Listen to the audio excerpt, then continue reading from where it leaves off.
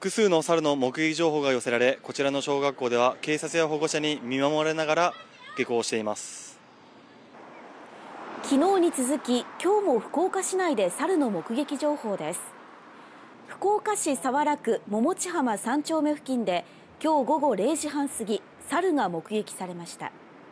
今のところ怪我人の情報は入っていませんが警察が小学校周辺をパトロールするなど警戒を強めています。とちょっと子どもたち興味本位で近づかないかなっていうのがあったので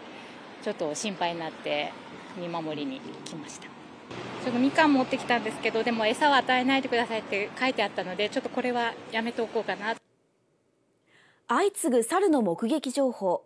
福岡市南区では昨日午前7時半ごろ小学生の女子児童と50代の女性が猿に足を噛まれ怪我をしました。また今日は福岡市早良区西陣や中央区東神町で相次いで目撃情報が寄せられているということです。